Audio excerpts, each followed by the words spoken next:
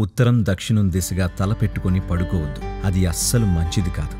మీ చీలమండ కన్నా కొంచెం పైదాకా రెండు పాదాలు లోపల పెట్టి కప్పి ఉంచి ఒక ముప్పై నిమిషాల దాకా అక్కడే కూర్చోండి. అలా చేస్తే అలర్జీల వల్ల బాధపడే వాళ్ళు అలా చేస్తే అన్నీ తొలగిపోతాయి.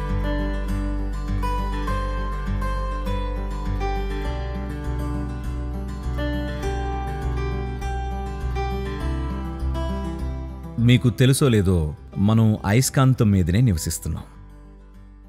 భూమి ఒక అయస్కాంతమే తెలుసా?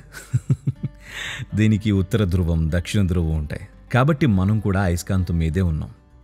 కానీ మణికట్టు మీద ఒక చిన్న అయస్కాంతాన్ని ధరిస్తే మీ జీవితమే మారిపోతుందని చెప్పి కొంతమంది అమ్ముతున్నారు. నేను అనేది మీరు అయస్కాంతం మీదనే ఉన్నప్పుడు ఇంకొకటి ఎందుకండి? భూమి ఎంతో పెద్ద అయస్కాంతం కదా. ఇది ఎంతో ప్రభావం చూపిస్తుంది. మీ శరీరం కూడా ఈ అయస్కాంతంలో ఒక భాగమే. నిజానికి అది కూడా ఒక అయస్కాంతమే అయితే చాలామంది అయస్కాంతంలాగా పనిచేస్తూ ఉండకపోవచ్చు. వాళ్ళు చుట్టూ ఉన్న వారందరితో ఆపోజిట్ పోల్స్ లాగా ప్రవర్తిస్తుంటారు. లేదా సేమ్ పోల్స్ లాగా అన్నిటికీ దూరంగా ఉంటున్నారేమో. కాబట్టి వ్యాపార సంస్థలు ఇలాంటివి ఎన్నో చెప్పచ్చు. ఒకవేళ మీరు మీ శరీరంపై అయస్కాంతాన్ని ధరిస్తే అది శారీరక ప్రమాణాల్లో మీలో కొన్ని మార్పులను తీసుకురావచ్చు. కొన్ని.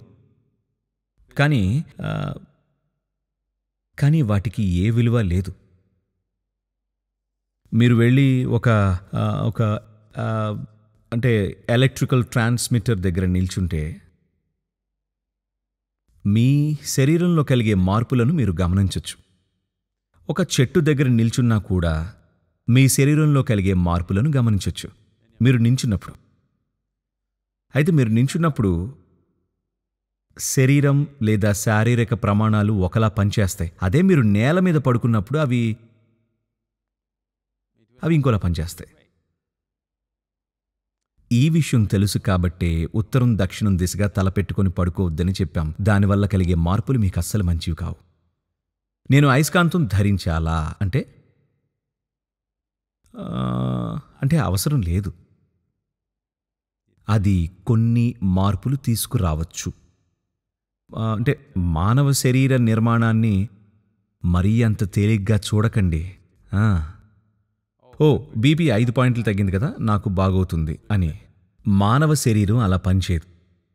అది అది దానికన్నా ఎంతో సంక్లిష్టమైనదే.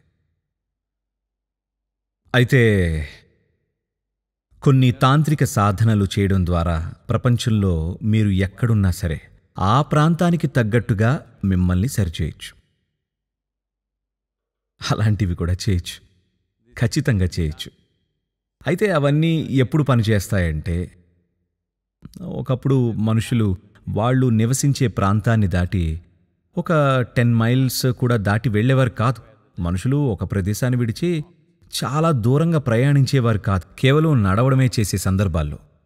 మీరు ఏ అక్షాంశాల దగ్గర ఉన్నారనే దాన్ని బట్టి సహజంగానే మీ శరీరం ఒక ప్రత్యేకమైన పద్ధతిలో భూమికి అనుగుణంగా సరిచేయబడుతుంది. కానీ మనం ఇవాళ ఎక్కడెక్కడికో ప్రయాణిస్తున్నాం.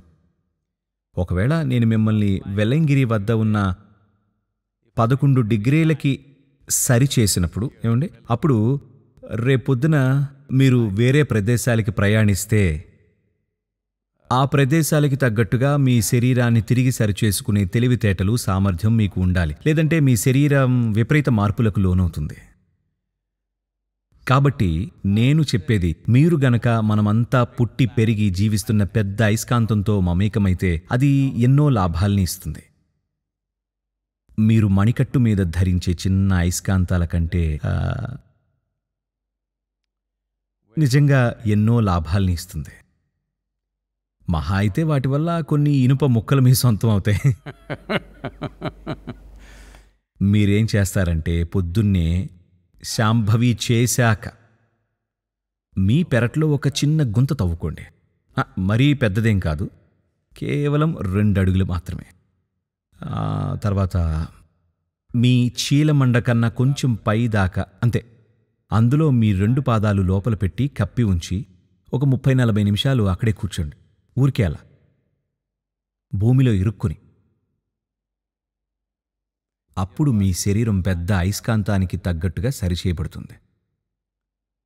ఇక మీరు మణికట్టు మీద లేదా చీలమండ మీద అయస్కాంతాలు వేసుకోవాల్సిన అవసరం ఉండదు. అలాంటివి కొనే బదులు రెండడుగుల లోతు వరకు ఒక గుంత తవ్వి మీ పాదాలు అందులో పెట్టి దాన్ని కప్పేసేయండి. మీ వ్యవస్థ పెద్ద అయస్కాంతానికి తగ్గట్టుగా ఎంతో బాగా సరిచేయబడుతుంది. అంతేకాదు దీని చుట్టూ ఎన్నో అంశాలు ముడివేసుకుని ఉన్నాయి. చాలా చాలా. మీరు యోగుల గురించి వినే ఉంటారు మెడదాకా శరీరాన్ని కప్పేసుకుంటారు కానీ మీరు అది చేయరని బాగా తెలుసు. అందుకనే పాదాల దాకా మాత్రమే అని చెప్పాను. కాబట్టి కేవలం పాదాలతో మొదలు పెట్టండి. అది నిజంగా పనిచేస్తే మెడదాకా ప్రయత్నం చేసి చూడండి. అది ఎంతో బాగా పనిచేస్తుంది. ఇవాళ ఎంతోమంది ఇంకా సులువైన అలాగే ఆకర్షణీయమైన పద్ధతి అనుసరిస్తున్నారు. అదేంటంటే మడ్ బాత్. నిజానికి వాళ్ళు మట్టిలో పాతుకుపోని కూర్చోవాలి. కానీ అలా పాతుకొని కూర్చునే దానికి తక్కువ స్థాయి ప్రత్యామ్నాయమే మడ్ బాత్ అనొచ్చు. ఈ రెండిట్లో ఏదో ఒకటి చేసుకోవచ్చు. కానీ పాదాలతో చేసేది చాలా సులభం.